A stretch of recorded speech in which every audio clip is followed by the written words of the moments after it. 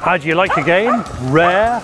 We travel to Swedish Lapland with Niall Rowantree to investigate how the capercaillie, a bird close to extinction in its native Scotland, can be hunted for lunch. I was shaking. Yeah, I think you. I could, I, yeah, you could. Uh, yeah, you could both see that. Yeah, but you know, the day I stop getting excited about hunting, I'll stop hunting.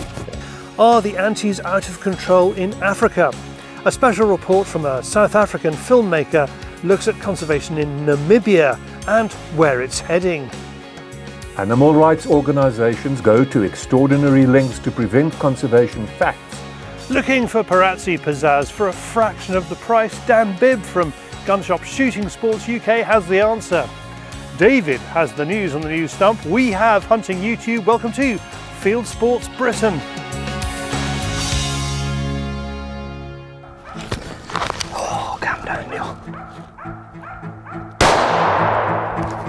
Struck the tree.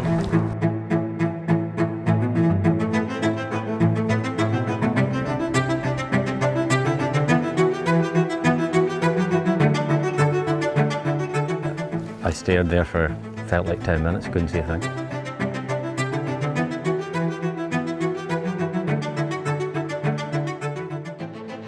A visit to Swedish Lapland feels like a step back in time. You know your neighbour. The roads are empty, and the semi domesticated livestock thinks it owns the place. With us inside the Arctic Circle is Niall Rowantree, deer manager and crofter.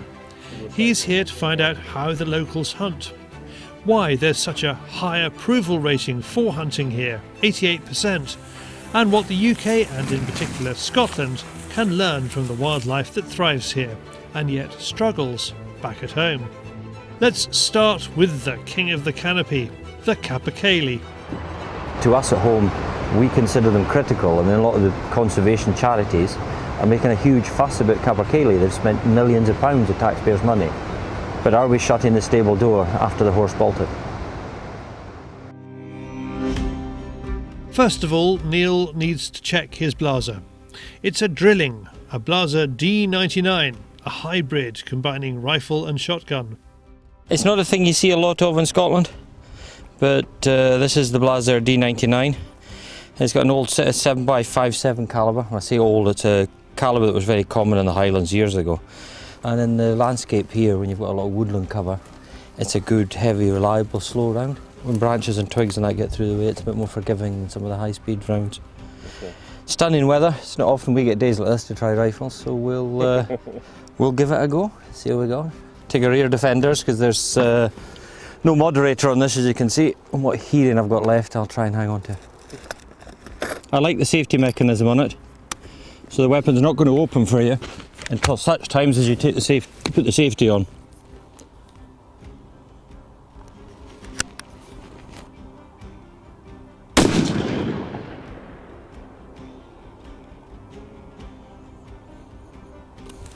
Okay. To be honest, very sweet to fire. Oh, I don't think there's any issues there, David, dear. I'm of the opinion that for 100 yards it's absolutely spot on. But when the weapon's closed, With us is Mads, a Danish fishing guide, now looking to use both rod and rifle. but it gives you the option to hunt all sorts of game with just one weapon. So that's the beauty of them.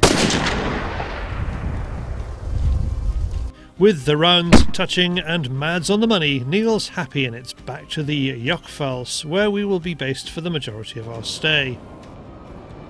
We've timed the trip to coincide with the end of the Baltic salmon season, the start of the bird and moose season for a Swedish McNab.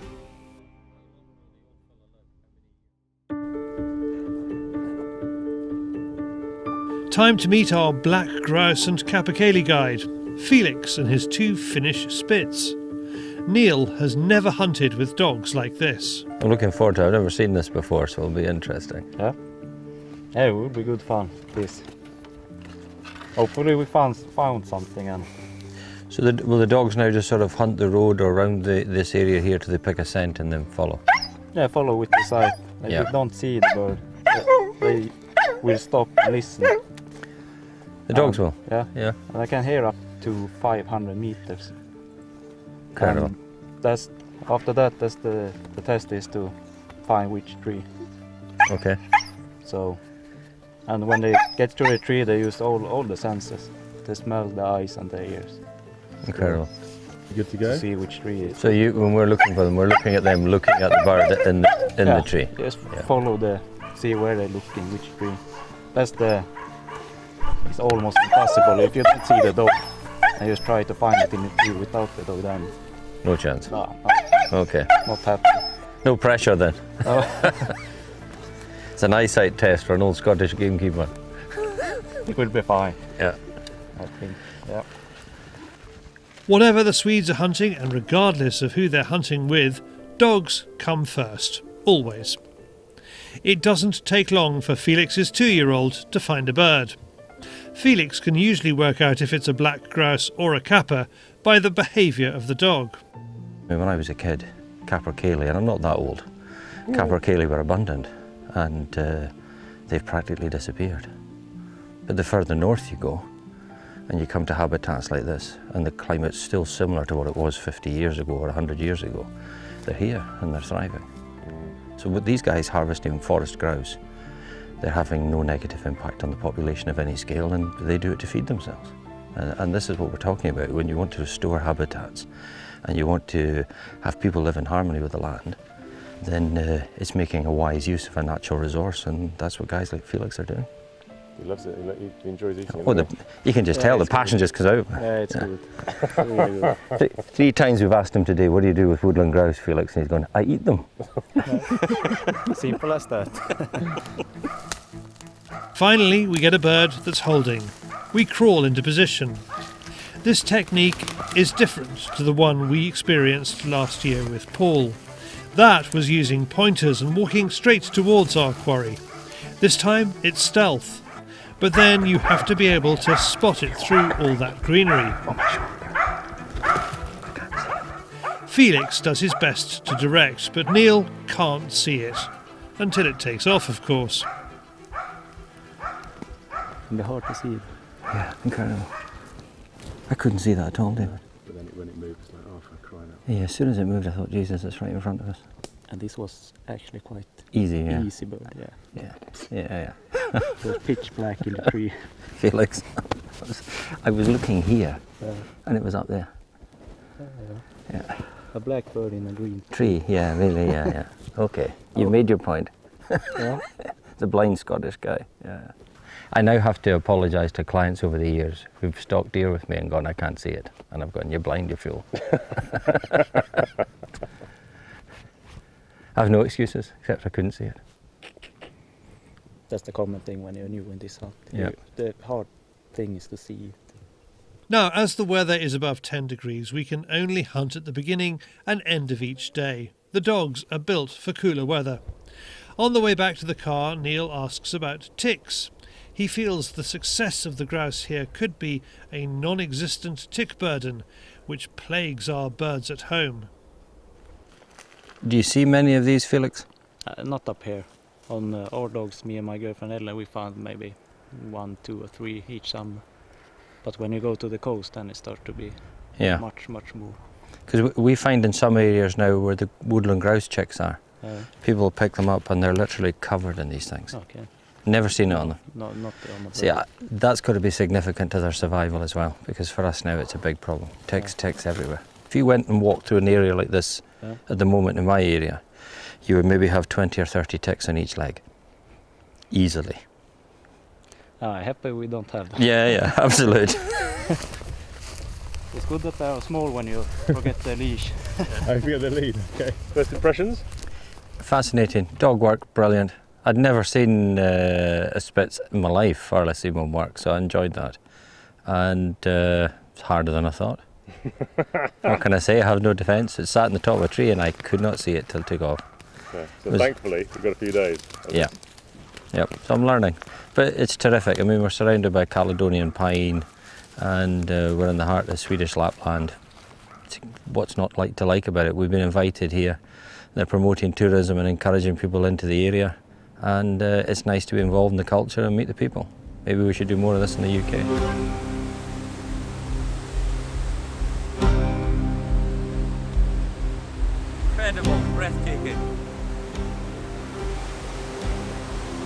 After lunch at Jockfall, it's our evening excursion. Felix uses his older dog. He's almost seven years old. Yeah. This is the dog that teach me how. okay. She barks, we stalk. There is no way Felix would allow anyone to take a bird without the dog in play. You're very much focused on doing the best with your dogs. So if, for example, a grouse landed here, having been disturbed, you wouldn't shoot that grouse. No, no. Why not? Tell me. Not because the, probably that the dog have chased chase it up from the ground. So Yeah. Always, always wait for a dog. But Okay. if the dog comes and start barking, and it's at the right tree and everything, everything is yeah good and in place, then I shoot. Okay. Okay. Otherwise, you never, never shoot. And it's so the dog understands it has to be at the right tree. Yeah, right yeah. tree. Yeah. Okay. Otherwise, you can get the dog that moving around a lot and don't, don't really pick a tree. Maybe moving around to five, six different trees. Okay. And then it's difficult to get anything in, in your bag. Okay. Understood. So basically, it's for your long-term success. Yeah. Okay. Yeah. As we lose the light and another bird, Felix finds himself with an opportunity. He decides it's too tricky for our travelling Scot, and because he feels the dog needs a reward for all her hard work, he takes it.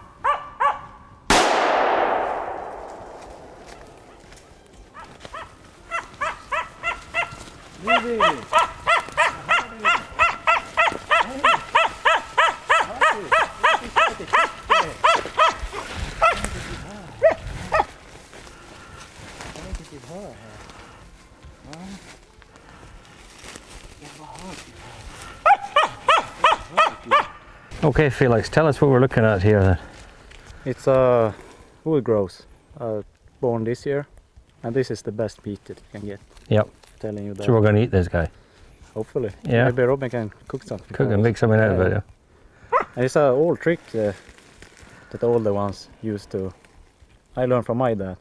If you want to know is the, if it's a, real old one, now we can see if, if Yep. that's a, a young one. But then you can grab it here and you see it is cracked really easy. Yes. So this is born this year.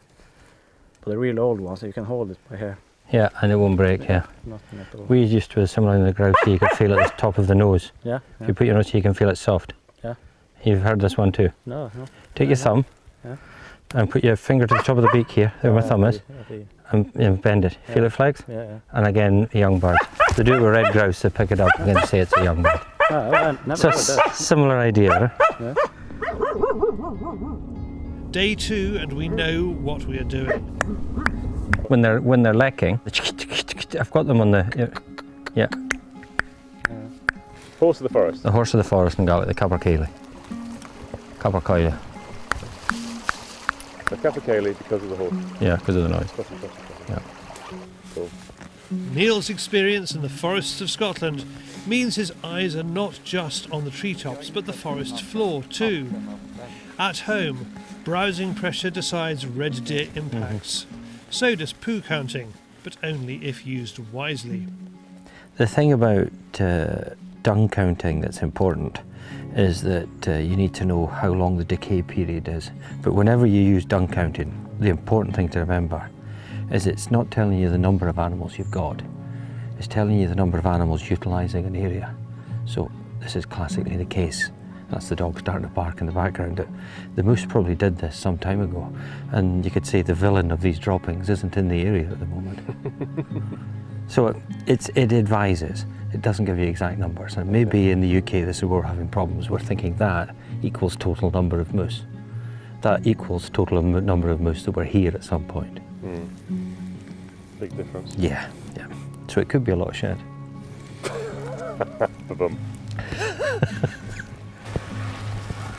We're off in response to the dog.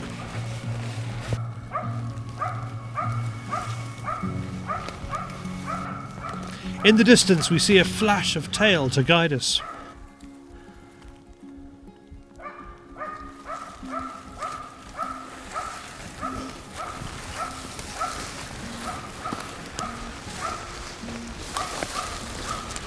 Niall gets into position and finally spots a bird. For the camera and shot cam, it's just a sea of green. Oh, calm down, Niall. Struck the tree. Struck the tree. Struck the tree. Bastido. You see it sitting there, David? It's, it's clear now because it's taken the branch.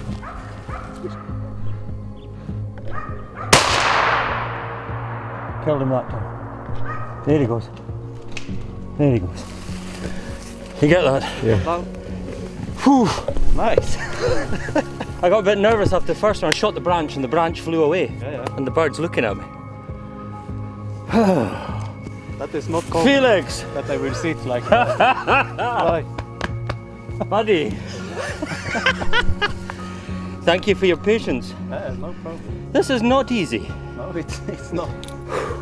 That is not easy, David. Tell me about it. Trying to film it. Couldn't Oh. see it. I could not see it. I'm sure I hit him the first time. It can be because He didn't go far. Yeah.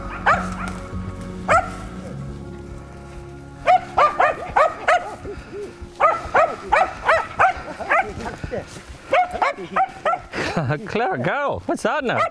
Clever girl. What's that now? Clever girl. Clever girl. What's that now? Clever girl. Appreciation for you. Delighted. Oh, did he die? There's somebody that enjoys their job. This is a baby from this year. Yes, yeah. Oh, well grown. Yeah.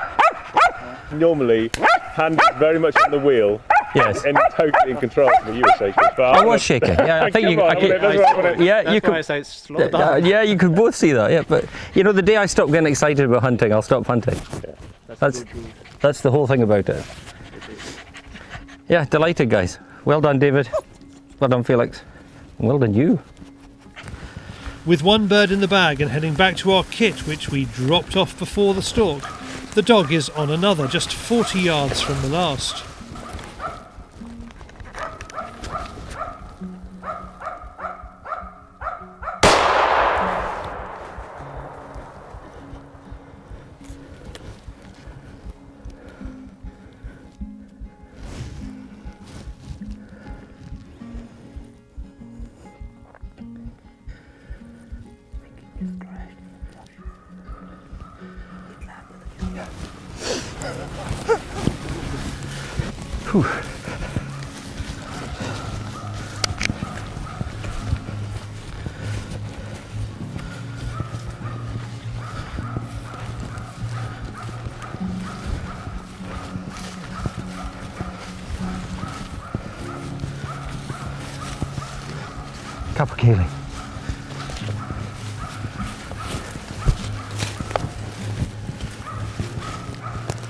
Came down though, I saw it coming down. 50 yards back in cover, and the dog pinpoints the caper.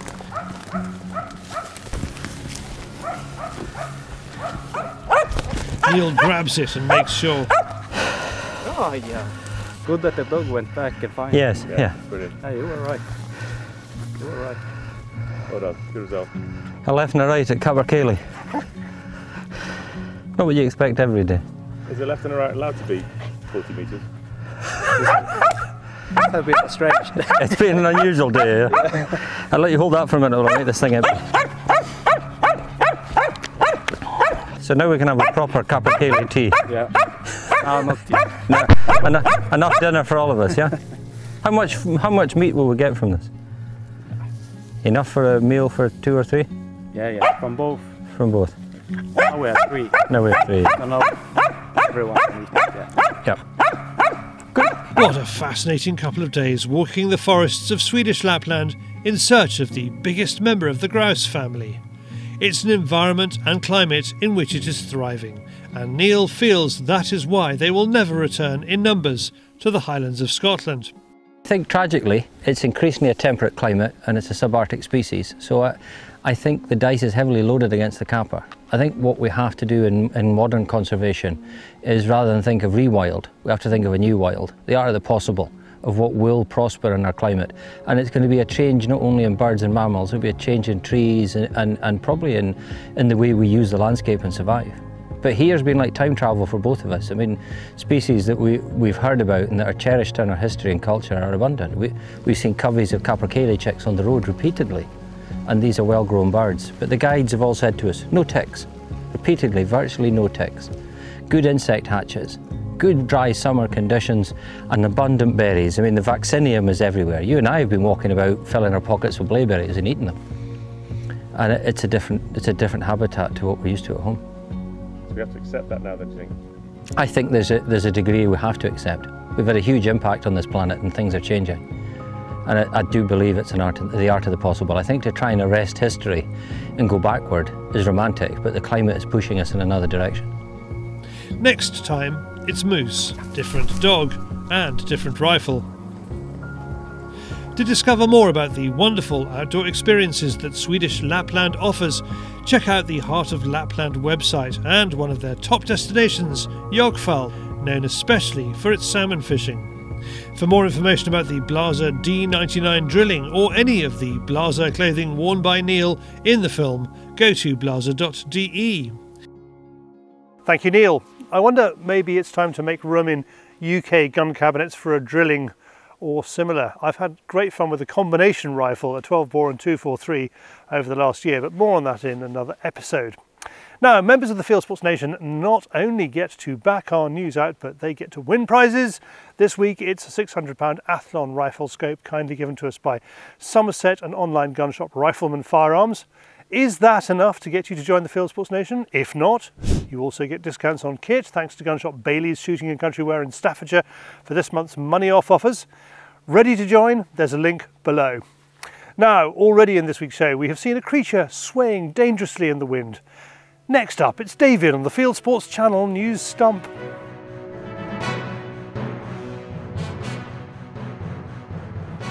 This is Fieldsports Channel News. Country people around the UK paid their respects to mark the funeral of Her late Majesty, the Queen. The field sports community held a variety of tributes to a queen who loved horses and dogs. A highlight of her funeral was her corgis and her fell pony, Emma, waiting for a coffin to arrive at Windsor. In Derbyshire, gamekeepers and shooters gathered to fire off a 96 gun salute. Representatives of the countryside groups attended, including BASC and the National Gamekeepers Organisation.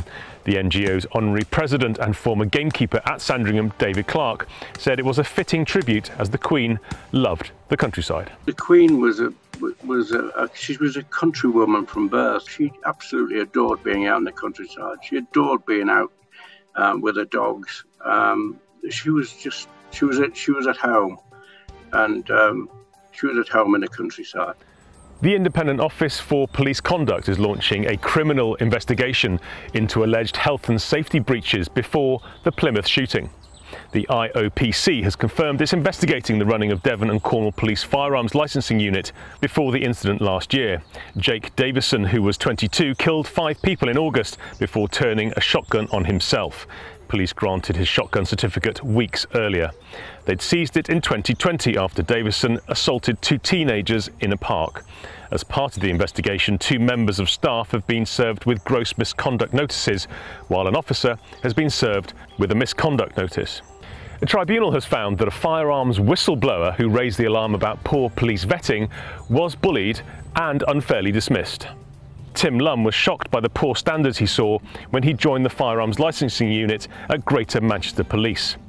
The tribunal heard that over an 18 month period, Mr. Lum witnessed colleagues failing to carry out basic checks, which would potentially reveal domestic violence reports or police intelligence linking people to organised crime. He reported this to his superiors in 2017, but nothing changed and he was bullied. Later that year, the constabulary terminated his assignment. Employment Judge Liz Ord said Mr Lum's disclosures qualified as whistleblowing after an earlier tribunal found he was unfairly dismissed and mistreated. Greater Manchester Police refused to comment. Lord Zac Goldsmith has been sacked as an Environment Minister.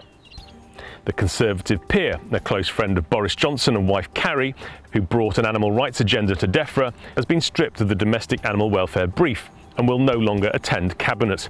There are reports he's expected to keep his role at the Foreign Office, where he is Minister of State for the Pacific and International Environment. We reported last week that he was still in his job at DEFRA following Liz Truss becoming Prime Minister. Downing Street said it had paused the reshuffle during the national period of mourning. BBC television presenter Chris Packham has been making claims that arsonists targeted his home because of his strong beliefs on fox hunting. He told the Mirror newspaper that the torching of a Land Rover Discovery outside the gates of his estate in the New Forest last autumn was a hit job.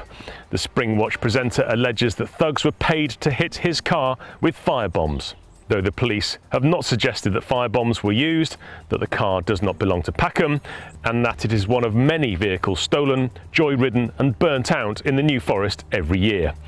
Police have a CCTV image of a suspect in a Mitsubishi Shogun, but no one has been arrested.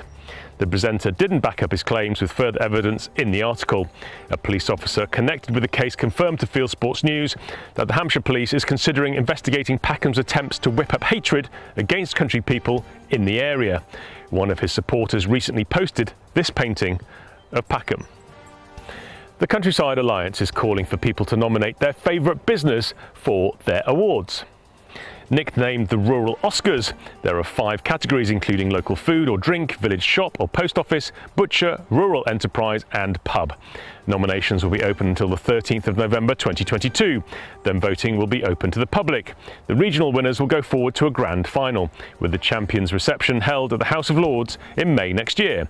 Last year there were 18,000 nominations. The link to make your nomination is in the description below. India has imported eight cheetahs from Namibia. The cats arrived on the birthday of the Prime Minister, Narendra Modi.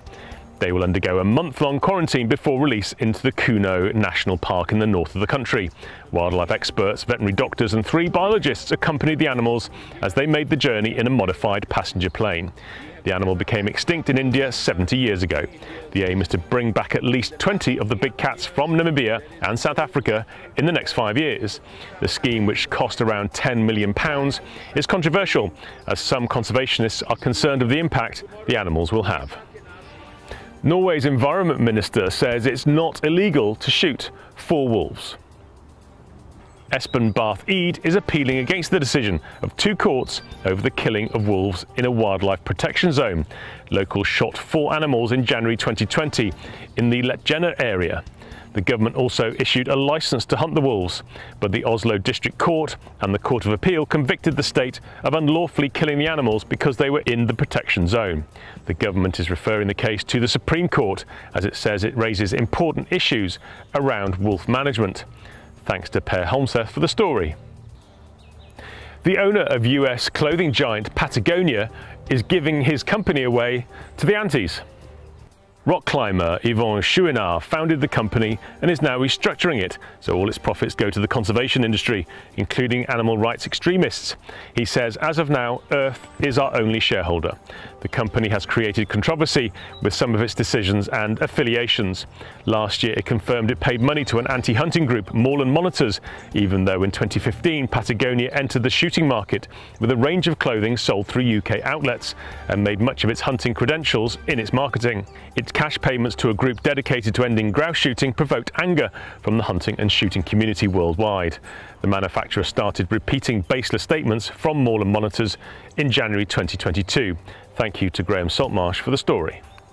Do you ride to hounds on a former racehorse? If so, you could win six days hunting with the Kimblewick. The Rye Dry ROR Racing to Hunting Challenge is open for entries. Nominate your former racehorse before the beginning of October, and six national finalists will be given a day's hunting with the Kimblewick Hunt. Horses will be judged throughout the day on their all-round behaviour and manners when they're hunting. The link to make a nomination is below. There's a new world record long-range rifle shot. US shooters Scott Austin and Shepard Humphries gathered a team to tackle the challenge of beating the previous record of four miles set in 2020. They beat it by almost half a mile. They fired the winning shot in the high desert of Wyoming. The bullet took 24 seconds to hit an 8-inch bullseye. The team planned the project for two years, collecting parts from all over the world to create a custom-built rifle. The They used special hand-laid bullets and spent 1,500 hours researching and practicing. It took 69 shots to hit the target and take the record. If we went out and did this day after day after day in very gentle, calm winds, and we did it for a month, I don't know that we would get another one in there. This is just good fortune meeting with a really good rifle, really good optics, really good shooter, really good coach, really good everything came together that day. And finally, the Times newspaper carried a perplexing report last week. According to Times journalist Will Humphreys, stag hunters on Exmoor chased a stag, brought it to bay and shot it.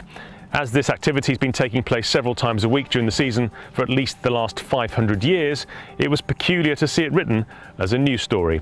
Humphreys refused to respond to a request for an explanation. You are now to date with Fieldsports Channel News. Stuck in the stories, fishing for facts.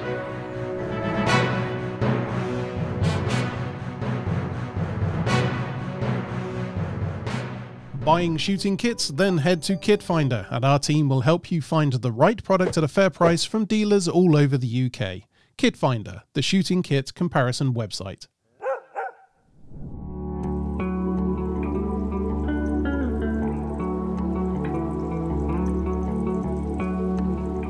Ah, do I ever wish I had a 9 to 5 job? No. A lot of people say to me, I'd love to do your job, but a lot of people are not realistic about the hours I do, so, but it's great. Good day is when everything runs smoothly and everyone goes home and you have those messages that evening or the next day saying, fantastic day, you run the days like clockwork and that, that is, yeah, music to my ears. If you have a tyre that is just for one job, it's no good for the other job and that's, you know, the truck behind is basically, it's a, a vehicle I need on the road and I need it for doing you know, shoot days and stalking as well, so it's off-road. So it's no good having a, a big chunky tyre on it. You've got to have a best of both worlds. So luckily, 50-50, it works a treat. So the AT3s take me to any part of the estate, anywhere I need to go, reliable, safe, really pleased.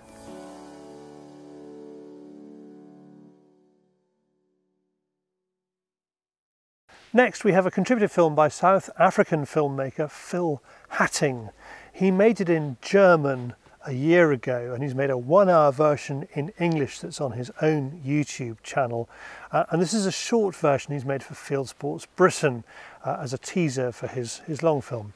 He explains how hunting tourism is poorly understood and how the conservation industry is manipulating that situation. In our film, We'll talk to a wide range of people who live and work in community conservation areas across Namibia to establish firsthand just how sustainable utilization of wildlife resources continues to benefit them directly by uplifting these rural communities.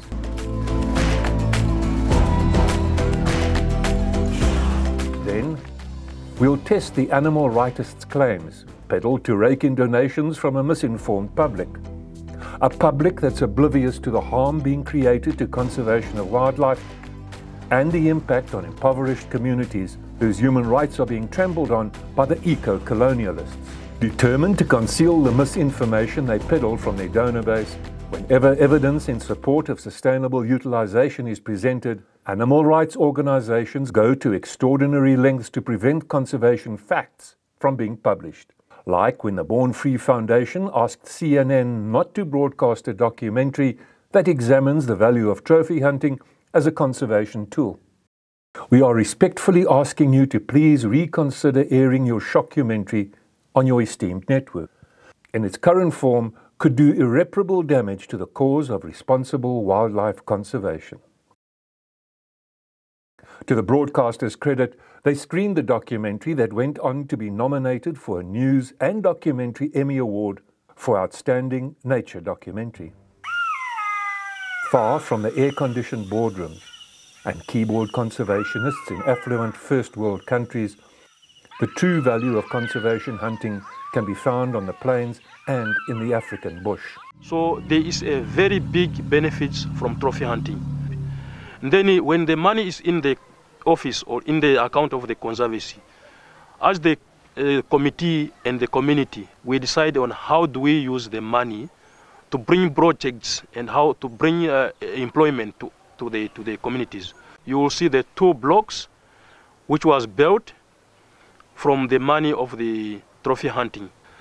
Then you're looking at it the other way. It's not, it's not only money, but we are still also benefiting from meat. If the elephant is short, if the buffalo is short, if the hippo is short, and then the professional him, hunter himself transports meat to the community and we give meat to the members. Politicians and celebrities that lend their voices to condemn hunting on a feelings not facts basis is another topic we address in the full version of our film. I have spent a great deal of time in Africa with Africans. I've spent a lot of time with game rangers and people like that. And as soon as they get to understand and as soon as they can find ways of living without killing animals, that's what they do. They're very proud of their wildlife. If, if, if, if, if, if, you, if you ban it, there's something which you can do. From trophy hunting, we get a lump sum every year. If we are doing hunting, we get money. If you take it away, you must be willing to pay that money to the community. So if you go about tender for an area, not only for your for your trophy animals, but also you do a tender and you say, for example, listen here, in, in this three or five years that I've got the lease, you have or you will provide three boreholes, equip them with solar to get fresh water. You will provide anti-poaching with uniforms. You will provide jobs for the people in this area. So this is this includes tracker, skinner, general work, manager, anti-poaching, um, game guards, uniform, tents, everything. So it's a, it's a, it's a, it's a big deal at the end of the day. I find a lot of that shocking. The antis are throwing away our wildlife for their ideology. And I hope it inspires you to watch the full film, and there's a link to it in the description below. Now to Hunting Kit, and Dan Bibb from Shooting Sports UK lists his shotguns in the category Best But Budget.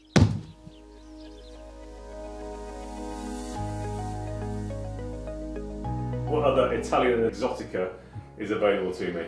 As you know, David, we're a Zoli premium dealer, so naturally I'm going to have to show you a Zoli.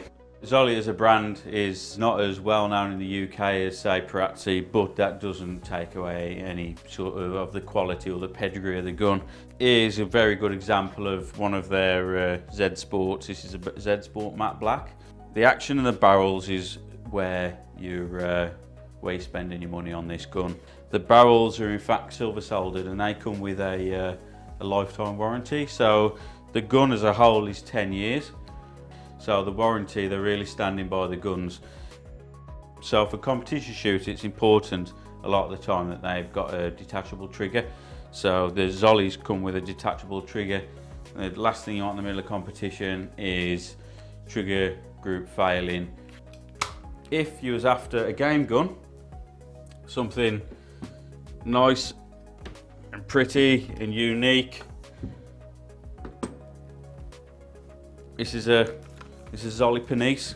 As you can see, game stock, round action, but all of the same great technology in the barrels, the silver soldering, with the action, the trigger group, and the wood. It all still resonates in this game gun. So they've really took technology from a high-end uh, sporting shotgun and brought it into a game gun. This, this gun actually shoots extremely nice. This is one of our demo guns, believe it or not. It's still in beautiful condition. This, uh, yeah, all of our demo guns will be able to be uh, tried at Oakedge Shooting Ground, uh, a new shop of ours.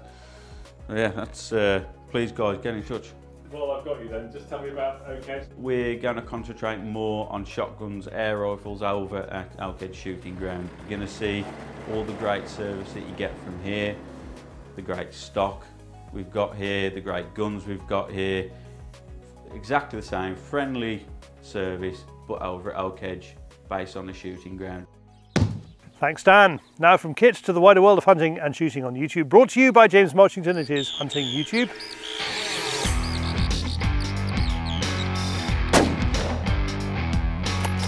This is Hunting YouTube, which aims to show the best hunting and shooting videos that YouTube has to offer. We're not the only ones who have trouble with antis. Here's flatline fowl being harassed while out decoying geese in New York State. The police are called and handle the situation well, but it does rather interrupt the sport. Back in the UK, Jaff from South Somerset Ferretus sends us his latest film. He sets up his hide by a telegraph pole in the middle of a beaten stubble field and has a good day shooting crows and rooks. This is basically a pirated copy of John Darling's classic 1970s airgun hunting video, Getting the Kill. It's transferred from VHS, so the quality isn't great but it's good enough, and the advice is just as relevant today. Thanks to Dave Bradshaw for recommending that one. This Alaskan couple reluctantly hunt down a bear that's stealing the fish they caught to feed their sleigh dogs. It's part of the Last Alaskans series, which you can find on the Discovery Channel. In this film, bow hunter Tim Wells walks us through his trophy room and tells the gripping stories behind the displays of boar, wolf, and bear. Aussie Bush Harvest is shooting ducks in New South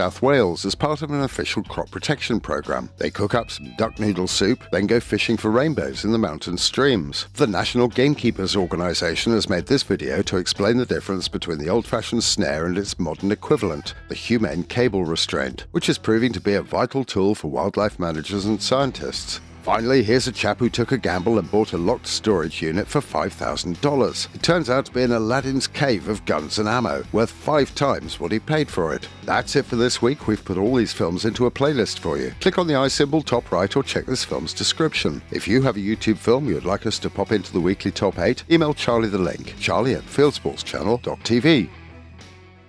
Well, that's it for this week. If you haven't done so already, please whiz over to our website, fieldsportschannel.tv. You can click to like us there on Facebook and on Instagram. You can follow us on Twitter, subscribe to us on YouTube. Best of all, pop your email address into our register page and we'll contact you about this show. Fieldsports Britain, which is out 7pm UK time every Wednesday. And this has been Fieldsports Britain. Good hunting, good shooting, good fishing, and goodbye.